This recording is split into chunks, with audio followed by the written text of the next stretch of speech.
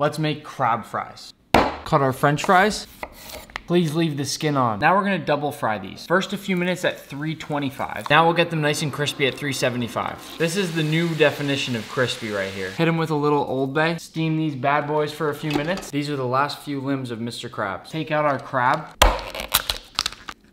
Start with a nice pile of our fries. Shred some crab all over it. Finish with a little aioli and a few fresh microgreens. That's the best bite ever.